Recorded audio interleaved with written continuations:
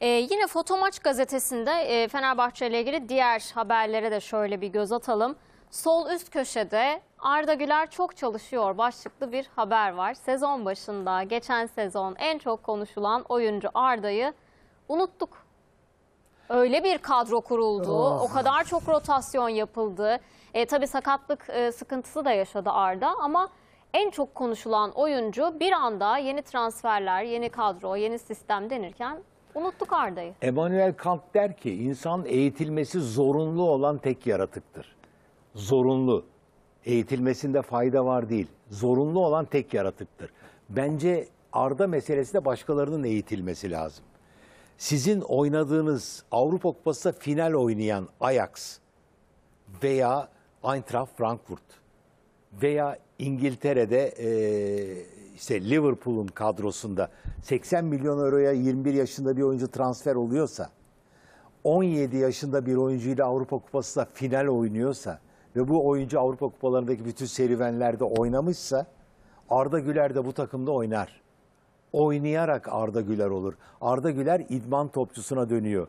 Kuvvetleniyor, kalınlaşıyor ama ne kadar çok bireysel çalışsın, ne kadar takımla çalışırsa çalışsın, hayır bu yarışın bir parçası olmak, onar dakikadan daha fazla kadroda yer bulup oynamak durumunda. Vitrine çıkaracağınız ürün bu. Arda ile ilgili haber şöyle. 17 yaşındaki futbolcu antrenman sonrası sağ ayağıyla şutlar atarak kendini geliştiriyor. E, Bravo kutlarım. Çok güzel bir haber. Bundan e, Fenerbahçelilerin e, biraz serzenişte bulunması, kendilerine bu hesabı sormaları lazım. Ya bizim bir Arda Güler'imiz var ya. Arda Güler'imiz var. Bir Ozan Kabak, bir Rıdvan Yılmaz, bir e, işte Semih Kaya bile 17 yaşında kadroya girip de Avrupalar görmüş bir oyuncuysa bunlar kullanılabildiyse biz de niye kullanmıyoruz bunu? Arda 21 olduğu zaman bu oyunu oynayamayacak. Veya biri getirecek 5 milyon euro basıp parayı alıp götürecek. Nasıl Emirhan'ı aldıysa Torino. Yani bence Arda'ya yap Arda bu- buraya yazılır. Etrafına bir takım yapılır. Rossi bekler. 30 yaşındaki oyuncular bekler.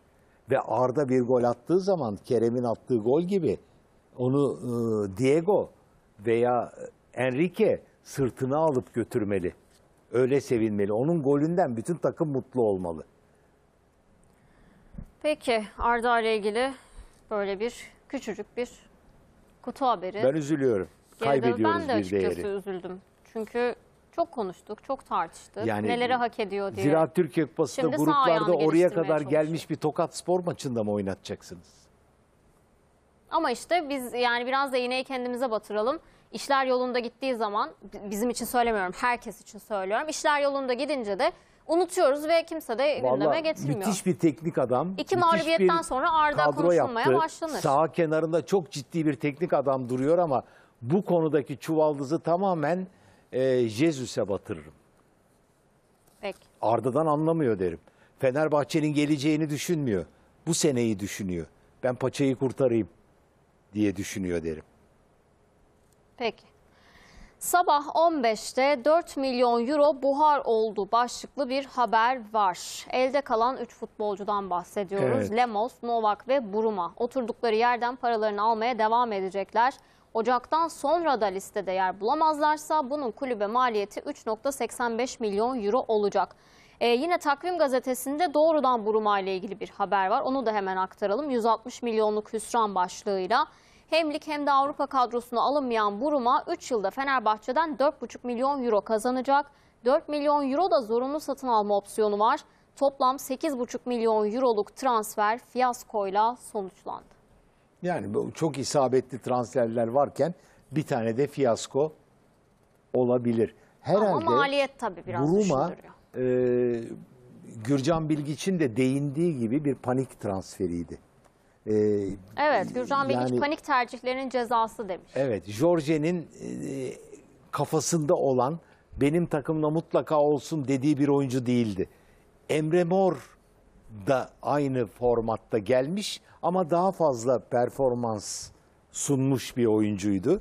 E, dolayısıyla onu biraz daha fazla kullandı ama bitirdi. Emre Mor Buruma yok. Benim oyunumda öyle hızlı, rüzgar, uçan, kaçan adam olmaz diyor. Benim oyunumda artistler vardır. Atarlar, beş kişi birden iter, kakar, kafaya çıkar, vurur, golü yapar. Olmazsa savunmadan Zavai gelir, gelir. Bu golü yapar. Böyle bir oyun tarzı var. Ama e, yani bazen geçerli olmayabilir. Ren bu konuda önemli bir test. Geçerse grubu hallediyor. Geçemezse diyeti ödemesi gereken bir isim var. Şampiyonlar Ligi'nin 30 milyon eurosunu kaybeden Abdullah Avcı ile Jorge Jesus'un bir an bir aynaya bakmaları lazım. Bu yoklukta şu 4 milyon eurodan bahsediyoruz. Ocak'ta da kalmazlarsa 6 milyon euro zarara bak diyoruz. Ya 30 geliyordu.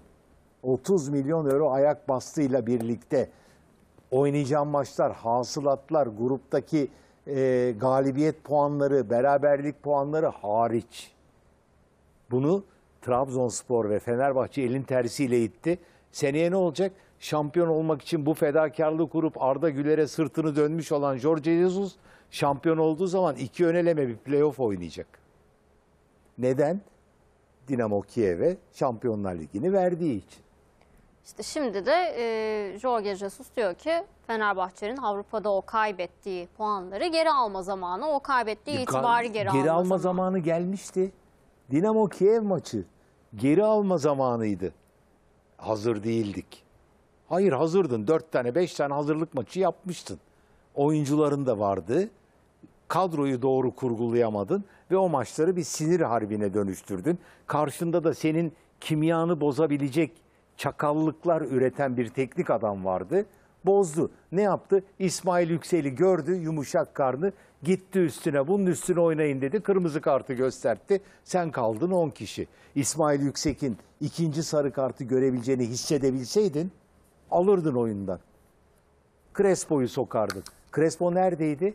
Tribündeydi. Neden? O sırada Crespo yoktu kafasında. Çünkü o almadı. Onun kafasında da bugün- Arroyo vardı. Crespo'nun Arroyo da o durumda değildi. Nasıl? Crespo'nun bugün doğum günüymüş. Şimdi foto maçta gördüm. Allah ömür versin. E, nice mutlu senelere diyelim o Evet. zaman. Kaç oldu acaba? Yazıyor mu acaba? 30'lara Bakacağım. geldi mi? Var mı? Bir saniye. Yüzüne bakılmayan bir oyuncuyken Arroyo ile beraber müthiş bir ikili oldular mesela. 26 yaşına bak çok Çok- söylemişiz. Çok, geleceği var. Çok söylemişiz, haksızlık Evet. etmişiz. Peki, Milliyet gazetesinde Celal Umut Eren imzalı bir haber görüyoruz. Yeni dönem LAM başlığıyla. Ya doğru benzetme Lam. doğru. Çok şık. 2018'de geldiği Fenerbahçe'de şu an takımın en eski oyuncusu olan Ferdi Kadıoğlu kariyerinde bambaşka bir evreye giriyor. Jorge Jesus'un jokeri olan milli futbolcu oynadığı bölgelerle Almanların unutulmaz ismi Filip Lam'ı anımsatıyor şeklinde bir haber. Bu Filip Lam çok enteresan bir oyuncu. Ee, sağ bek, kaptan, çuvalla gol atan ve asist yapan bir isim. Ee, müthiş bir e, karakterdi Alman milli takımının içerisinde. Ee, bir hani derler ya 1.03 boyuyla olağanüstü e, mücadele gücü, çok zeki bir oyuncuydu. Ama bazı oyuncular var futbolu bıraktıkları gün futboldan kopuyorlar. Hiç seyretmiyorlar bile belki. Filip Lam yok ortada. Böyle bir efsanenin belki var da bizim haberimiz yok.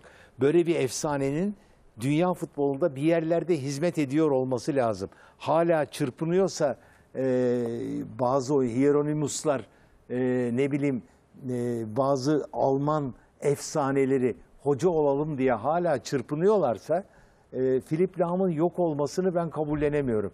Bu benzetme de doğru.